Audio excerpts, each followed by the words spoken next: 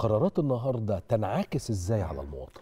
هتنعكس على آه، عدة جوانب. هي الفكرة كلها طبعا إن إحنا شفنا آه، فكرة التوجيه الخاصة بالتخفيض بالنسبة لسعر الدقيق اللي بيتم توريده للمخابز السياحية. إحنا هنا هو بنتحدث عن رغيف الخبز غير المدعم. المدعم خلاص هو معروف الخمس قروش آه، لكن دوت مش كل المصريين بيحصلوا عليه لكن هم من يستحقوا الدعم. لكن الجزء الآخر اللي هو آثار يمكن مشكلة الفترة اللي فاتت نتيجة إن أسعار طبعا التوريد كان حصل فيها نوع من أنواع الارتفاع. كانت آه، أسعار التوريد حوالي 8500 أو 9000 ابتدت تزيد وصلت لحوالي 12000 جنيه. فبالتالي ده اللي عمل يمكن مشكلة خلال ال- الأسبوع اللي فات ده كله لأن المخابز ابتدت تتحرك على اتجاهين. يا إما كان في زيادة كبيرة جدا في الأسعار يا إما ابتدى إن هو يقلل بشكل واضح من آه، وزن الرغيف. إحنا بنتحدث إن ال standard تقريبا آه، آه، بالنسبة لوزن الرغيف حوالي 90 آه، آه، جرام. ده بالنسبة حتى للمدعم والمفروض غير مدعم لكن فكرة إن يتم التوجيه ب إن الدولة تتحمل جزء كبير من هذه ال- التكلفة المرتبطة بتوريد ال- الدقيق للمخابز. إحنا بنتحدث إن إحنا نعود مرة أخرى لحوالي 8500 جنيه والفرق دوت اللي هو من 8500 ل 12000 تقريبا هو دوت المبلغ اللي هيتم تحمله من جانب ال- الحكومة. وده بغرض ضبط الأسعار واستعادة مرة أخرى الأسعار اللي كانت عليها عملية التسعير آه، لغاية اللحظة دي ما نقدرش نقول إن في رقم رسمي طلع لكن التقديرات بتقول حوالي 75 قرش بالنسبة للرغيف على الوزن دوت ومن هنا أنا هدعم أنا هدفع الفرق دوت اللي هو يعني حوالي 3500 جنيه تقريبا دولت هيدفعوا من جانب الدولة بس بشرط أنا هراقب على الوزن وعلى السعر اللي إحنا هنتفق عليه. لا الوزن لا فيه ولا أرفع السعر. ولا ترفع السعر.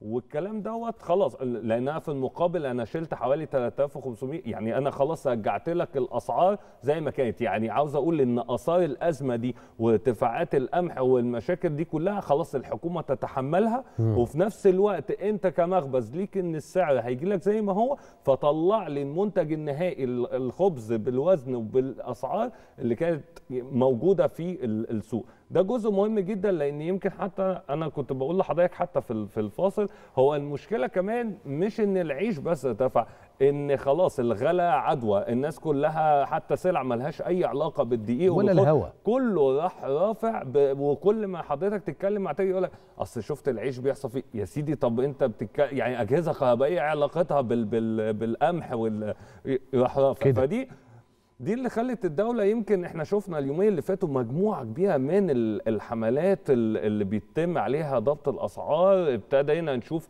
فعلا مواجهة بالنسبة للتجار. إحنا مش بنقول لحد ما يكسبش لكن إحنا ضد الجشع ضد استغلال الأزمات مم. ضد ان انت يبقى عندك أزمة وتبقى انت هدفك الوحيد ان انت تستغل هذه الأزمة لجني آه، ثروات هي دي المشكلة الأساسية. لكن الدولة بتحاول تتحرك عليها. جزء الخاص برضه بالمعارض ومعرض أهلا رمضان دي كمان مهمة جدا.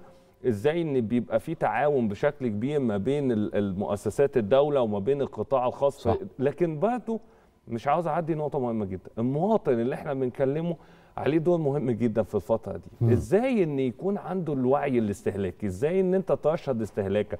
فكرة إن حضرتك تطلب احتياجات بشكل أكبر بكتير جدا من آه، متطلبات الأسرة ومن احتياجات الأسرة. ده أمر غير مقبول. فكرة إن الناس تبقى بتجيب قبل شهر رمضان الكريم وده مش بقى بعيدا عن الأزمة أو ما فيش أزمة في العالم. لكن فكرة إن أسرة تبقى آه، بش آه، شقاره مش عارف إيه شوال إيه كراتين إيه ما- فيش كده في الدنيا. هات حاجتك بشكل يومي أو بشكل حتى أسبوعي. لكن لما حضرتك تروح واخد دخلك كله جايب بيه شوية سلع تموينية مالي بيها البيت كله طب ليه؟ هو إحنا يعني آه، مش عارف إحنا. إيه ليه بنعمل كده في نفسينا؟ حضرتك انت بتبقى سبب في زيادة الأسعار من غير ما بتشعر. لما كل الناس تبتدي تتحرك قبل الشهر الكريم بأسبوعين وتبتدي تطلب بشكل غير غير مقبول وبكميات كبيرة جدا. أنت بتضغط على موارد الدولة. أنت بتدي فرصة للتاجر إن هو يرفع الأسعار عليك نتيجة إن هو متوقع منك زيادة الطلب دوت. اشتري احتياجاتك بالشكل اللي فيه ال ال الوعي. اشتري ال اللي أنت محتاجه بالظبط على الأقل. مش هقول لك سيدي بشكل يومي على الأقل حتى بشكل أسبوعي. لكن أنت بتجيب حاجات وللأسف الشديد بيبقى فيه كمية كبيرة من الهدر خليني أقول لحضرتك على على معلومة سريعة إحنا تقريبا حتى وإحنا بنتكلم على رغيف العيش دوت والدعم والأسعار وبتاع إحنا تقريبا تلت اللي بننتجه بيروح هدر بعد كده وبعد وده مشكلة كبيرة في إن إحنا حتى سياسات ال- الاستهلاك عندنا فيها كتير من المشاكل اللي محتاجة طبعا يبقى فيها نوع من أنواع الترشيد.